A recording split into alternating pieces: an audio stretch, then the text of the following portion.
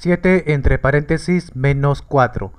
Como paréntesis es multiplicación, primero los signos.